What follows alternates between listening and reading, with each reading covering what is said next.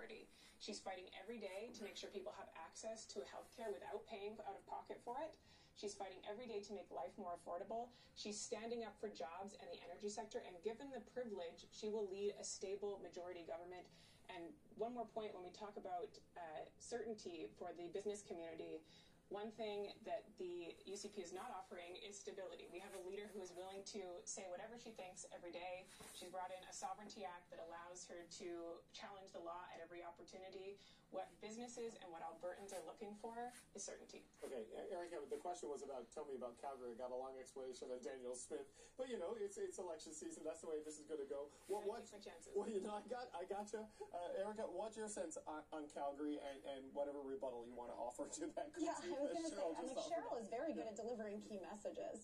Um, so I'll give her some street cred for that. But she actually did have some, some good points on, on who you can trust. Because, I mean, if she's talking stability of a $70 billion deficit when you leave office, I don't know if all Albertans would consider that stable. And I'll give the NDP credit for uh, their, their, you know, twisting um, the truth and saying that Danielle Smith won't make people, or they'll make them pay out of pocket. She did a public health guarantee. So, Cheryl, I think she actually did answer that question.